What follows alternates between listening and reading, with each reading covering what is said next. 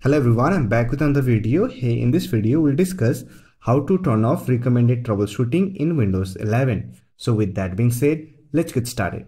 If your Windows system face any issue, then it will notify you recommended troubleshooting method. However, if you don't like the notification, then you can simply turn off the feature. For that, simply open settings, click on system, scroll down, here you will find troubleshoot, simply click on this option and here you will find recommended troubleshooting preference. By default, it is set ask me before running. So if you want to disable it, then from the drop down menu, simply select don't run any. You can also select run automatically, don't notify me and run automatically, then notify me. So I'll suggest you to turn off the feature as this can interrupt your workflow. So that's it. This is how you can turn off recommended troubleshooting in Windows 11. I hope this video was helpful to you. If you found this video helpful, don't forget to hit that like button and subscribe the channel for more videos like this. Bye for now. See you next video.